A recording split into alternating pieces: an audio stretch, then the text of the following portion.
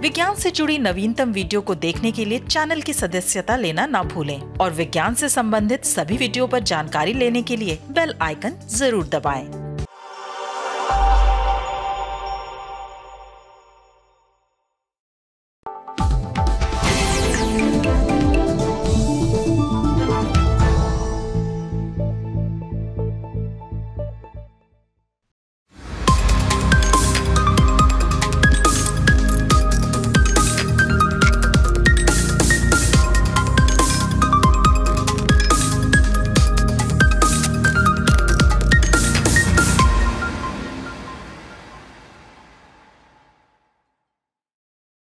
नमस्कार। स्वागत है आपका इंडिया साइंस के साप्ताहिक कार्यक्रम साइटेक में और आपके साथ मैं हूँ शहनाज रजा। आज के अंक में बात करेंगे रसायन और भौतिकी विज्ञान से जुड़े कुछ रोचक शोध के बारे में। जानेंगे क्या है आइंस्टीनियम और समझेंगे कढ़ाई में सब्ज़ी के चिपकने का विज्ञान। तो देर किस बात की? चलिए शुरू करते हैं आज का साइटेक। एक सौ अठारह तत्वों वाले पीरियोडिक टेबल यानी कि आवर्त सारणी में एक तत्व ऐसा है, जिसका नाम तो बेहद प्रसिद्ध वैज्ञानिक के नाम पर रखा गया है, लेकिन इसके बारे में कुछ ज़्यादा जानकारी हासिल नहीं हो पाई थी। लेकिन हाल ही में वैज्ञानिकों को इस तत्व के ऐसे व्यवहार की जानकारी मिली है, जिसके बाद अब ये रहस्यमयी तत्व नहीं रहा। कैसे? आइए देखते हैं।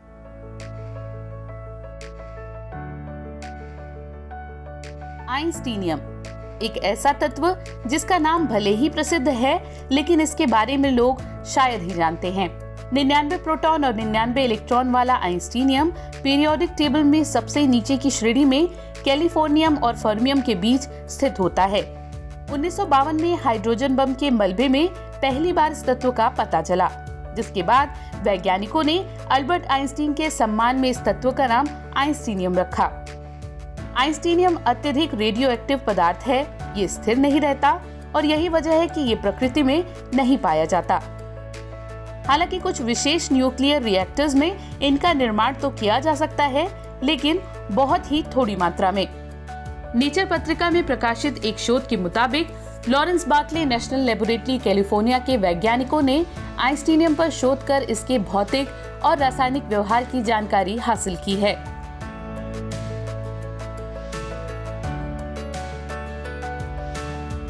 आइंस्टीनियम पर शोध के लिए वैज्ञानिकों ने ऐसे उपकरणों का इस्तेमाल किया, जो इसके खोज के समय उपलब्ध नहीं थे। वैज्ञानिकों ने ल्यूमिनेसेंस स्पेक्ट्रोस्कोपी और एक्सरे एब्जॉर्प्शन स्पेक्ट्रोस्कोपी प्रयोगों के लिए दो प्रयोगशालाओं का सहयोग लिया। वहीं आइंस्टीनियम का निर्माण ओक रिज नेशनल लेबोरेटरी के हाई फ्लक्स आइसोटोप रिएक्टर में किया गया, जो कि दुनिया के उन कुछ स्थानों में से एक है, जहाँ आइंस्टीनियम का निर्माण किया जा सकता है। लेकिन सबसे बड़ी चुनौती थी प्रयोग के लिए इस तत्व का नमूना तैयार करना। इसके लिए वैज्ञानिकों ने क्यूरियम पर न्यूट्रॉन्स बरसाए, ताकि न्यूक्लियर रिएक्शन की एक लंबी चेन उत्पन्न हो सके। लेकिन समस्या ये आई कि विकसित हुए नमूने में कैलिफोर्नियम की मात्रा ज़्यादा थी। इसलिए वैज्ञानिकों को एक्सरे क्रिस्टलोग्राफी की अपनी पहली योजना को रद्द करना पड़ा। एक्सरे क्रिस्टलोग्राफी अत्यधिक रेडियो एक्टिव पदार्थों की जानकारी हासिल करने का सबसे उचित माध्यम है। लेकिन इसके लिए ज़रूरी है कि धातु का सैंपल, यानी कि नमूना, शुद्ध हो। इसके बाद वैज्ञानिकों ने शुद्ध नमूना प्राप्त करने के लिए एक विशिष्ट सैंपल होल्डर का उपयोग किया। वैज्ञानिकों के लिए दूसरी चुनौती थी रेडियो एक्टिव डीके यानी पदार्थ का जल्दी खत्म हो जाना। इसके लिए वैज्ञानिकों ने आइंस्टीनियम के स्थिर आइसोटोप, आइंस्टीनियम दो सौ चौवन के 250 नैनोग्राम पर प्रयोग किया, जिसकी अर्ध आयु दो सौ छिहत्तर दिन होती है। इस शोध के साथ वैज्ञानिकों को आइंस्टीनियम के बॉन्ड डिस्टेंस यानी कि अणु के अंदर मौजूद दो परमाणुओं के न्यूक्लियस के बीच की दूरी को मापने में सफलता मिली है। साथ ही इसके भौतिक और रसायन व्यवहार का पता चला है, जो कि एक्टिनाइट श्रेणी के तत्वों से अलग है। एक्टिनाइट श्रेणी के तत्व पीरियोडिक टेबल के नीचे की श्रेणी में स्थित होते हैं। वैज्ञानिकों का दावा है कि एक बार जैसे ही आइंस्टीनियम के अणु के परमाणु व्यवस्था की जानकारी मिल जाएगी तो इसके रासायनिक व्यवहार को और भी बारीकी से जाना जा सकेगा। और साथ ही, एक्टिनाइट श्रेणी के तत्वों का बेहतर उपयोग, जैसे कि न्यूक्लियर पावर प्रोडक्शन या रेडियो फार्मास्यूटिकल्स में किया जा सकेगा। खाना पकाते समय एक चीज़ मुझे बहुत परेशान करती है, वो है भूनती हुई सब्ज़ी का कढ़ाई की पैंदी में चिपकना। आप भी कभी ना कभी इस परेशानी से दो चार हुए होंगे, लेकिन अब ये चिंता दूर हो सकेगी। हाल ही में वैज्ञानिकों के एक शोध से समस्या की भौतिकी को समझने और उसको सुलझाने का मौका मिला है। कैसे? आइए देखते हैं। खाना पकाने का तेल कभी कभी स्टोव पर चढ़े पैन के मध्य से अचानक पीछे हट जाता है, जिससे सूखे धब्बे निकल आते हैं और भोजन चिपक जाता है। हाल ही में वैज्ञानिकों ने अपने शोध के ज़रिए इसके पीछे के विज्ञान को उजागर किया, जो फिजिक्स ऑफ़ फ्लूड जर्नल में प्रकाशित हो चुका है।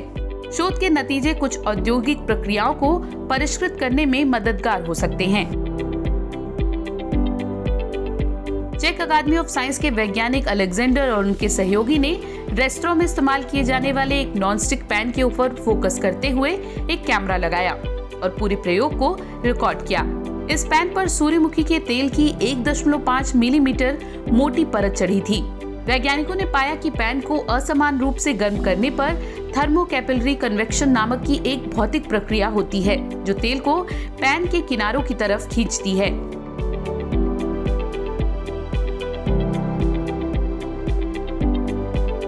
अपने प्रयोग में शोधकर्ताओं ने पाया कि पैन के मध्य का तेल जल्द गर्म होता है। किसी भी द्रव या तरल में तापमान बढ़ने से पृष्ठ तनाव घटता है। नतीजा, पैन में पृष्ठ तनाव का एक ग्रेडियंट यानी ढाल पैदा होता है। किनारों में ज़्यादा तनाव पैन के मध्य के कम चिपचिपे तेल को बाहर की तरफ़ खींचता है और तेल की सतह को विकृत कर देता है। इस बिंदु पर अपेक्षाकृत पतले भाग फट सकते हैं, जिससे सूखे धब्बे रह जाते हैं। शोधकर्ताओं ने पाया कि एक क्रिटिकल साइज़ यानी कि एक सीमा के बाद तेल में बना छिद्र नहीं भरता। ये क्रिटिकल पॉइंट प्रत्येक तरल के लिए तापमान के अनुसार अलग अलग होता है। इस पॉइंट का उल्लंघन तब होता है जब किसी तरल का वक्रीय ऊपरी सतह पैन के बाहरी किनारों के खिंचाव के कारण फट जाता है और पृष्ठ तनाव खत्म हो जाता है। इस क्रिटिकल साइज़ से बड़ा कोई भी छिद्र तेज़ी से बड़ा हो जाएगा। इस प्रयोग में सूखे स्थान के किनारे को मापा गया। ये किनारे तेल के धब्बे के मध्य से 5.5 सेंटीमीटर प्रति सेकंड की गति से पीछे हट रहे थे। अलेक्जेंडर के मुताबिक इस प्रयोग से अब स्पष्ट है कि पैन के मध्य में ही भोजन क्यों चिपकता है। उनके मुताबिक खाना पकाते समय कुछ सावधानी बरत कर इससे बचा जा सकता है। तेल की तय को मोटा कर कुछ हद तक इससे बचा जा सकता है। वहीं ज़्यादा भारी और मोटी तली वाले पैन के इस्तेमाल से ताप समान रूप से वितरित हो जाता है और टेम्परेचर ग्रेडियंट यानी ताप की ढाल को रोकेगा। मध्यम आँच के उपयोग और खाद्य सामग्री को फेंटते रहने से भी मदद मिलेगी। शोधकर्ताओं के मुताबिक प्रयोग के परिणाम से औद्योगिक अनुप्रयोगों में भी मदद मिलेगी, क्योंकि फ़ूड केमिकल और फार्मास्यूटिकल सेक्टर्स में कई प्रक्रियाओं में ठोस सतह के ऊपर तरल का पतला प्रवाह एक महत्वपूर्ण कड़ी होती है।